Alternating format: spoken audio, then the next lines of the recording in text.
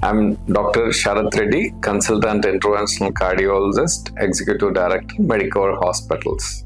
CT coronary calcium score is one method of assessing blockages in blood vessels, heart blood vessels. Uh, CT coronary calcium score gives a good understanding of you know what is going on inside and it helps uh, uh, in identifying you know uh, patients uh, who can have critical obstructions especially when the calcium score is more than 400 the chances of critical obstructions are uh, high in those patients and those are the patients where we might recommend you know subsequent investigations you know, pick up you know right patients.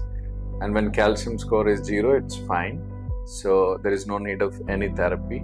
But when calcium score is more than you know 50 to 100 uh, those are the patients where uh, this score helps in ini- initiating you know, early cholesterol lowering therapy for the patient. So uh, this ct calcium score helps both in uh, uh, understanding you know patient's overall status uh, to initiate early prevention as well as uh, uh, in few cases where we can pick up patients you know very early